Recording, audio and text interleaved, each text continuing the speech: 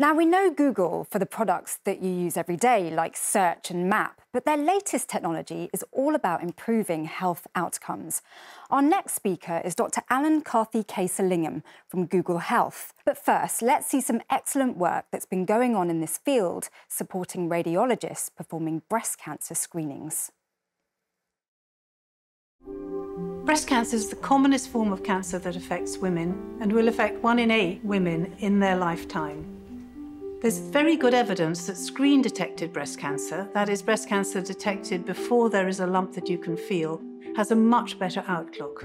Women with screen detected cancer are mostly able to be completely cured and will go on to be long term survivors. So, we really need to improve the way we can diagnose and treat women with breast cancer, and screening is the answer. Breast screening has played a really important part in improving cancer outcomes across the world.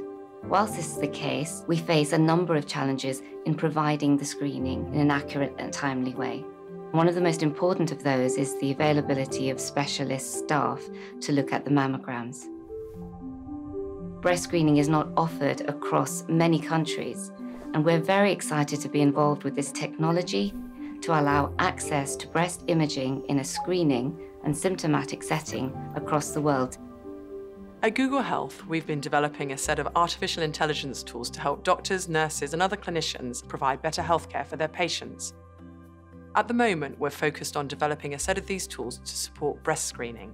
The aim of this work is to improve the consistency of the breast screening programme here in the NHS. We've already published research that shows that our technology is as accurate as radiologists in detecting breast cancer. And so our next step is to see how it works in real world clinical settings. And so we're delighted to be partnering with Imperial College London, Imperial College Healthcare NHS Trust, St George's University Hospital's NHS Foundation Trust, and the Royal Surrey NHS Foundation Trust to undertake this work to ensure that we are building safe, accurate, and equitable tools. This research is an important step in the long journey to increase access to screening programs available to everyone and advance our goal of saving lives through earlier detection of breast cancer. Alan, thank you so much for joining us. I have to ask you, what is an NHS doctor doing at Google? Uh, well, it's it's really the dream job. You know, I've I've been passionate for my whole career as a doctor about the power of medical research to uh, innovate and help us find new ways to make life better for our patients that we look after. Um, but at Google, you can really take this kind of work to the next level. Um, work with the world's best research scientists, engineers, incredible product managers, not only to do sort of really cutting edge artificial intelligence research, but then build that onwards into products and services, uh, you know, going from code all the way into clinic. Um, I still remember five years ago when I first visited DeepMind's offices uh, here in London, um, this world famous AI lab, there were these posters on the wall um, front covers of Nature magazine, which uh, is, you know, for us scientists, uh, a, a, real sort of holy grail place to publish your research. Uh, and the research was about using artificial intelligence to solve really difficult problems in video games or chess or these other things. And I remember thinking, you know, how incredible it would be if we could take that kind of technology and bring it to bear on healthcare problems, people with cancer, people with uh, avoidable blindness and these other things. And so it's such a privilege to be here, um, you know, applying that kind of powerful technology to some of society's most pressing problems.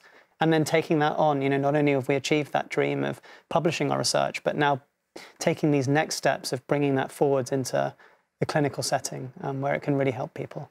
It really is so exciting to be able to use the power of Google to advance healthcare.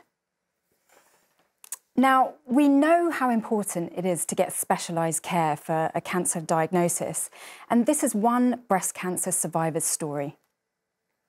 Looking back now as a patient, when I was diagnosed 10 years ago, I wish what we're doing now with the clinicians and health professionals and introducing AI in mammography was there. Because mine was caught late. It was a late stage, and I had to go through a mastectomy. And a mastectomy means I'm going to lose my breast. Why I joined the AI in mammography group to represent the patient's voice. They've got the machine, but what does the machine do? How does it differ from what a person would do? And that's why I got involved with this group to ask this question. Okay, the outcome, is it going to be better outcome for me in the long run? You know, if you pick it up early, the cancer won't have time to spread. And then we're there to ask, would this be better? How can it compare to what I did before? If a radiologist did it and two people need to check, but if it's just one person now, you've got that time to give me that care and explain things to me much better. And I think this is what this project is all about just making things much better for patients. Della's important personal testimony there. So, Alan, I've got another question for you. Is Google trying to replace doctors with tech? Uh, definitely not. Um, you know, what this is about really is building intelligent assistants for doctors and patients. Um, one of the things here is that's so precious is the doctor-patient relationship. And we really hope that AI can build incredibly impactful tools that give doctors and patients back this gift of time so that you know more time, uh, more energy can be spent on the complex decision making that lies at the heart of this doctor-patient relationship. Mm.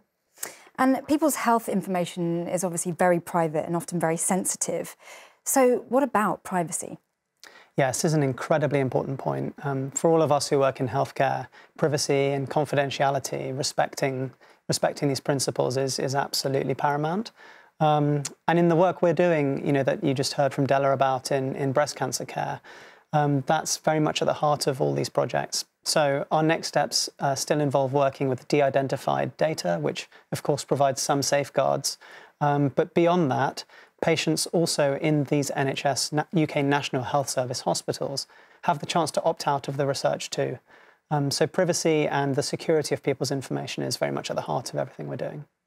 Will this AI diagnosis technology be able to diagnose other cancers as well as breast cancer? Yes, that's a, a really important point. Um, you know, we've seen incredible progress uh, in the application of these AI technologies to a whole raft of um, clinical needs.